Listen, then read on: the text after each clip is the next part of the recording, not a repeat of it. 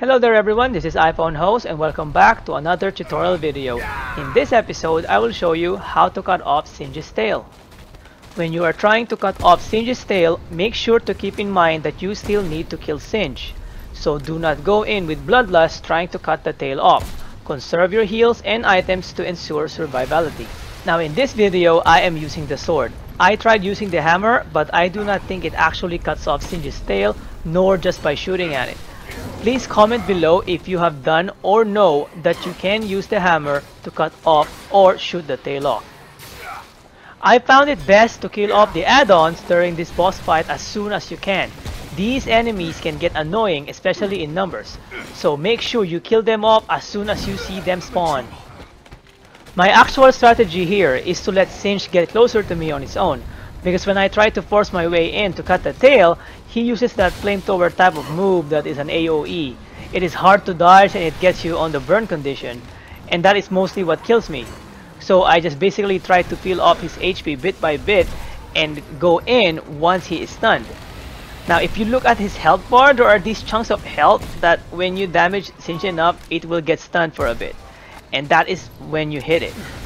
Just be patient and don't let it provoke you and get flame blasted in the face. That is one facial you do not want. Ah, no, like, but seriously though, Singe can actually one-shot you with that flame ball. Okay, so like this, when this happens to you, when he is inside that fire pit, do not go for that tail. The damage you will take is not worth it. I was just at autopilot berserk mode here because I really want that tail off its body.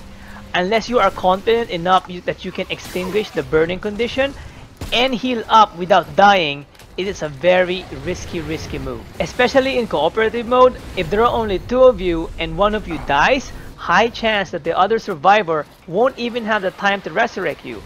Singe and its playmates will pounce on you like a dog in heat and will eat you up faster than you eat a taco on a Taco Tuesday. When you see Singe go up in the air, try to make that as an advantage and shoot at his core, which is Singe's weakness. Singe is actually not that tanky compared to other bosses, especially when you always aim for that weak spot of his. So just stick to the plan, hit and run tactic over and over, play safe and don't get carried away, but make sure the majority of the damage you deal is on its tail, otherwise it might not be enough to cut off the tail before it dies.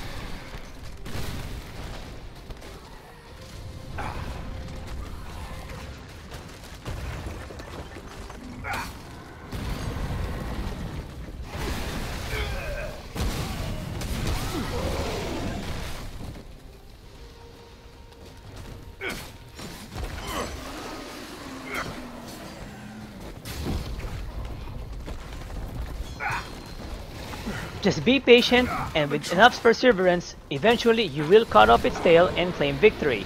Just make sure you still have the strength to finish Singe off, because if you don't, he will kill you and we'll have to do all this all over again from the start.